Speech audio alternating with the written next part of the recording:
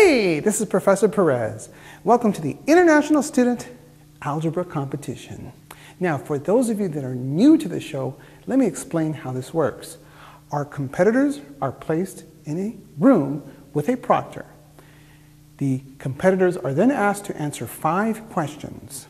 Once they have completed the questions, we take the results and display them on our virtual board. Then the competitors will come out and explain their approach to you. And the best part is you get to grade their approach. That's right, on a scale of 0 to 10, 0 being the lowest, 10 being the highest. Once we receive your scores, we will average them and display the results rounded to the nearest whole number on our board up here.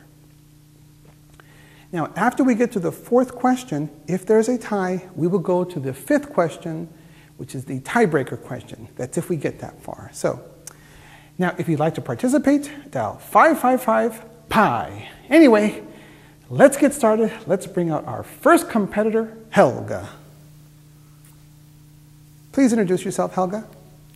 Hello, my name is Helga Lederhosenmeister.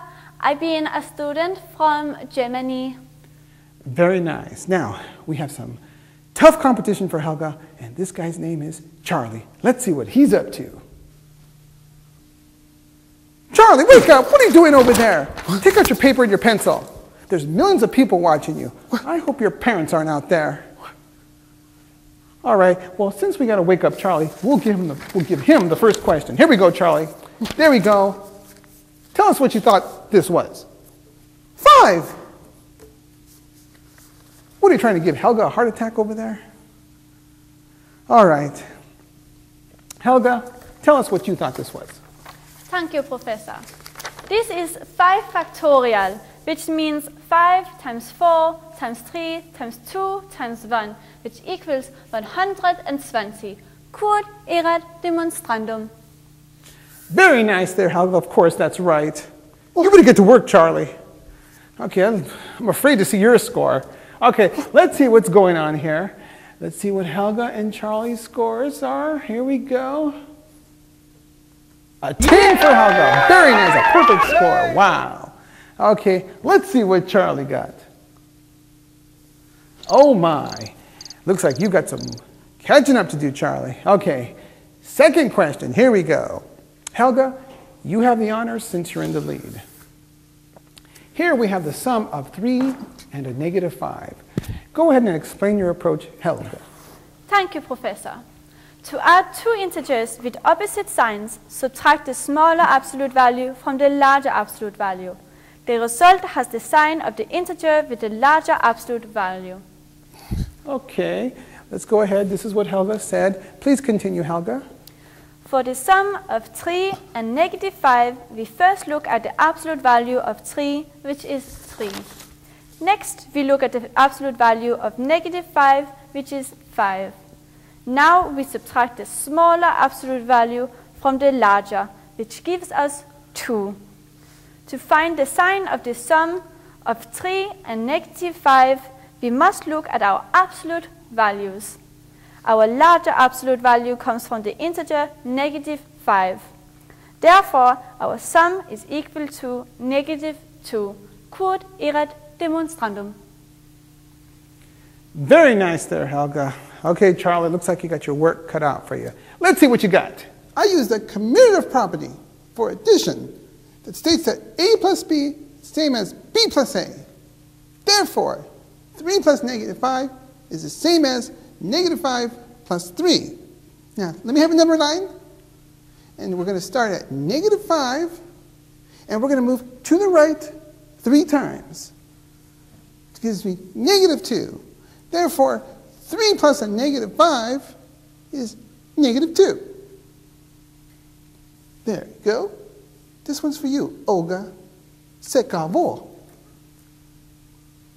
Very nice there, Charlie. The answer is negative 2. Okay, well, the scores are coming in now, and let's see what they average to. Here we go. Helga has a 9. She's holding on strong. Let's see if Charlie's coming up. He has a four. Good job, Terry. Nice recovery. Okay, next question. Here we go.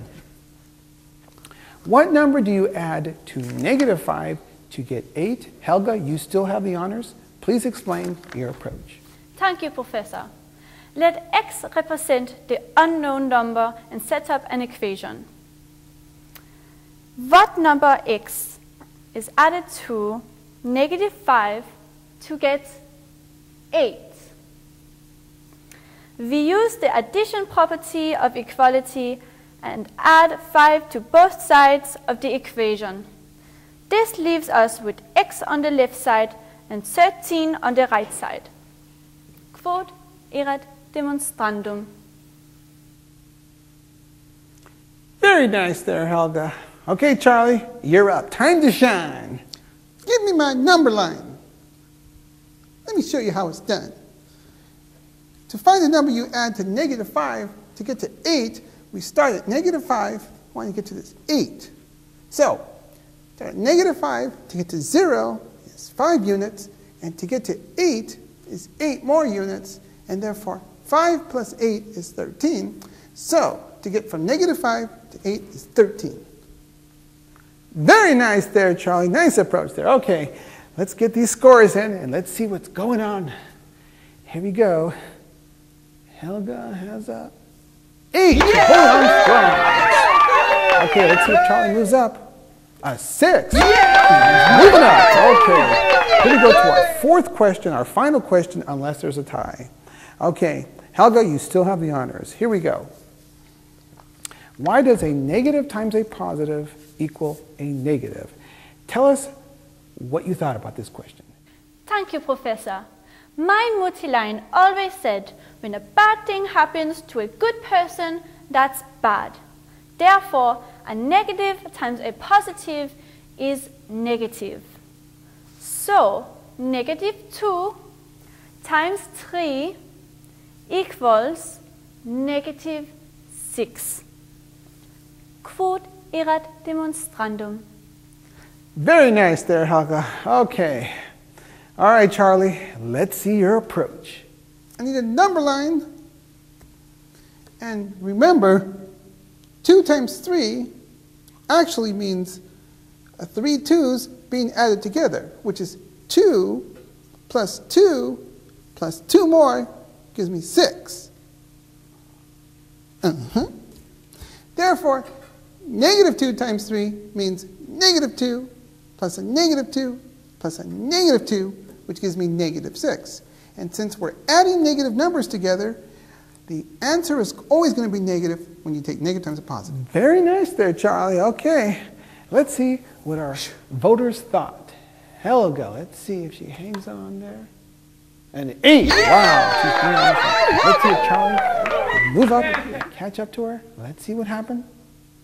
An eight. We have a tie here. Oh boy, that takes us to our fifth tiebreaker question. Here we go. Remember, this is a tough one here. So, here we go. Charlie, we'll let you go first on this one.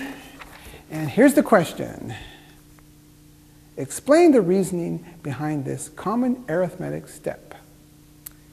4 divided by 1 third is the same as 4 times a 3. Okay, Charlie, here we go.